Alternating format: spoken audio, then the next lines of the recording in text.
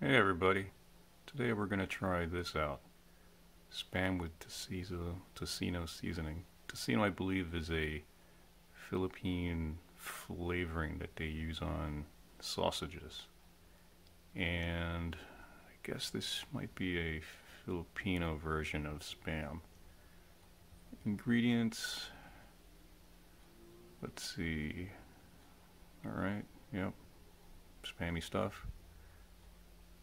The color looks definitely a little redder than usual, which I take it is from the paprika. Anyways, as long as it's not red 40. Let's see what it says here. Ready to eat, hot or cold. Well, we definitely eat that cold. Not that desperate yet. To fry.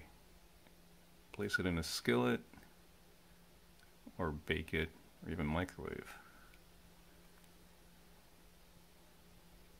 Serving suggestion slices some sunny side egg and rice. Well, we'll give that a try. Let's see how this comes out.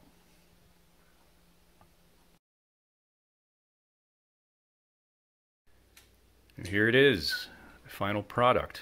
We decided to follow the serving suggestion on the can and prepare it with the sunny side egg and rice which was uh, prepared in a garlic style which is uh, I guess the way it's done with the Filipino silog meals.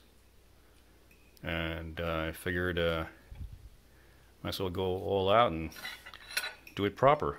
Let's take a bite out of this and see what it's like guess I kind of uh, fried it a little bit pretty extra extra just since uh, well just to be on the safe side. Let's give it a try. Hmm. Mm-hmm. Yeah, I got a little bit of a sweeter taste